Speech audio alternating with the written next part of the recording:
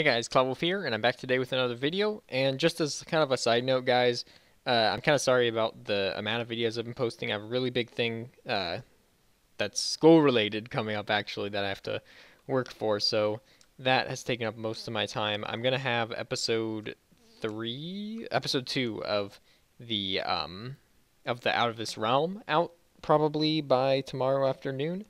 And uh, yeah, so I should be good now. It's pretty much over all the hard stuff I have to do. But uh, anyway, so I just kind of wanted to show you guys this thing that um, I've been working on some stuff lately, but not for too much.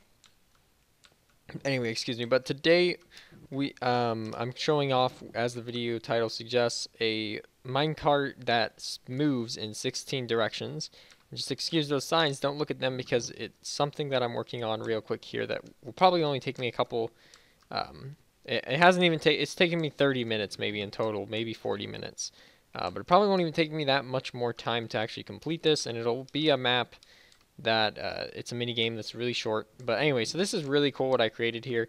It's uh, basically these 32 commands. 16 of them is to set a scoreboard. So scoreboard, object scoreboard objectives, so let's say sidebar uh, facing. There we go. And uh, if you look here, I'm facing this way. Then here, it gives me a score of 2, 3, 4, 5, 6, 7, 8, 9, 10, 11, 12, 13, 14, 15, 16. So what it's doing is it's detecting when I'm facing in 16 different directions. So they're basically the 16 basic directions. So there's the 8 basic directions, which is north, and south, which is here, and then east, which is here, and west, which is here. But it's actually the opposite in Minecraft. South is act I made south number one, and I made uh, then this will be west, and this will be north, and about here would be east.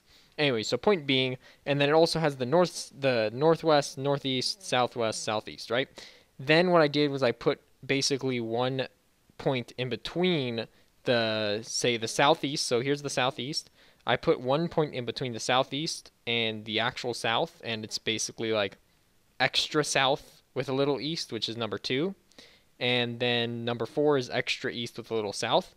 And I basically just took those principles and applied them to the movement here.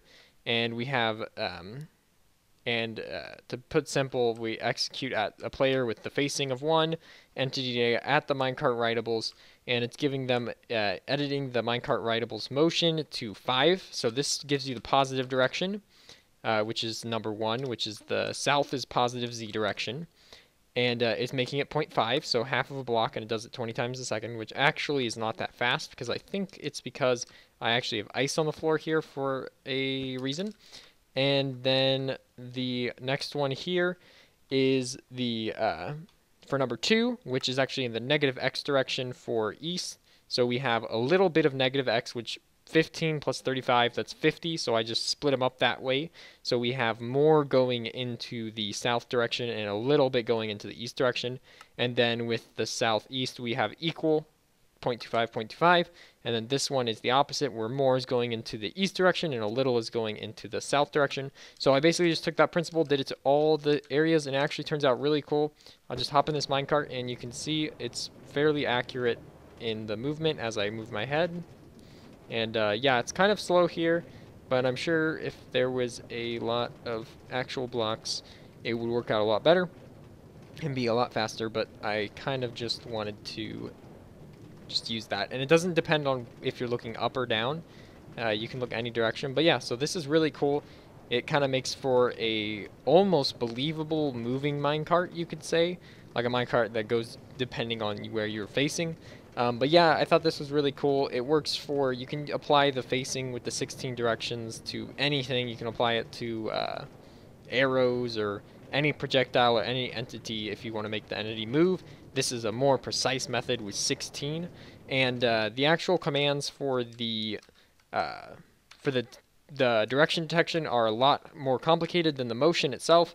Um, the way the method I used was I started with south, which is ry, which is 11. So I went to here's exactly south, right? And I looked here's 0, 0 south, right? So I went about 11 degrees this way and 11 degrees the other way. So 11 degrees in the negative, 11 degrees in the positive, which kind of gives a, a little range for the uh, for the area, like a little range, which is like a slice of pizza, right? or however you want to imagine it. Um, and then what I did was I gave each part an equal sized slice. So what I would do was that slice is about 22 uh, figures long, so 11 and 11, that's 22. So what I did was I added uh, 1 to 11, so it goes from 11.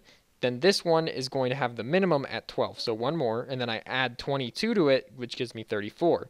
And I just kept going with that until you get to 180, where you have to change it from net positive, which is 180, to negative because it goes to negative numbers. So you can start counting down 180, which is weird.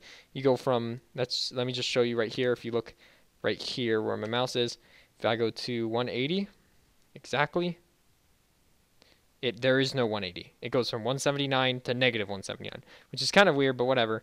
Um, so yeah, so I added it, then took the 34, add 1 to it, 35 plus 22, and I just did that for everything, and that's how it gets the directions.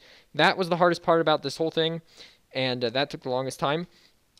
Uh, if you want these commands, I'm going to have a link to a Pastebin in the description, and it'll have all the commands uh, split up between the ones that are facing and the ones that give you the motion. And uh, yeah, they're really cool to work with, and I'm glad I was able to make the 16 facing, which I thought I wouldn't be able to do, but I actually was, because previously the most directions I've done was 8, and uh, sometimes I don't even bother with 8. If you noticed in my uh, mana, how to create a fireball spell, I used 8 there. So this is 16, so it's even better. Anyway, so that's all I wanted to tell you guys today. I'll be coming out with more videos this weekend, and we are going to actually have a little tournament this weekend if you guys want to play and join in. Um, there is something about live streaming that I have to talk about, and I may have to end up doing Twitch, but those facts aside, just keep those in the back of your mind for later. I'll be making videos on them. Uh, but anyway, guys, thanks for watching, and I'll catch you all later.